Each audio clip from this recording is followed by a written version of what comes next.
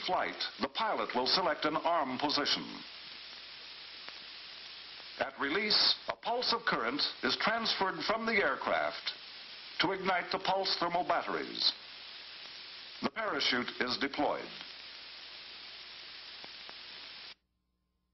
With over 6,500 aging classified nuclear weapons development films located on Kirtland Air Force Base, Albuquerque, New Mexico, and a smaller number at Albuquerque's Pantex plant near Amarillo, this joint Department of Defense and Department of Energy effort will preserve and allow appropriate release of this valuable historic information.